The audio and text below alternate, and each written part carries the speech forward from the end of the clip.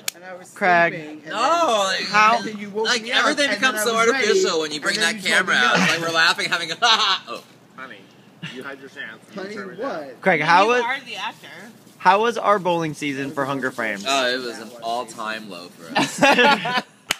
Uh, and high because it's first season, so it's all good. You're gonna go to sleep, and you said, yeah.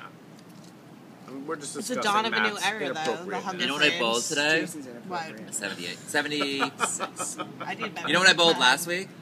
156. Amy, what'd you bowl? This week? Um, I bowled a 115 the first round, and then I bowled a 80-ish. oh, that was me. I was- 80-ish the second I round. That was- was me I was on ready the the swap second with game. Ah. I was 89 first round, 116 second round. Ah, 116, yeah, that's good.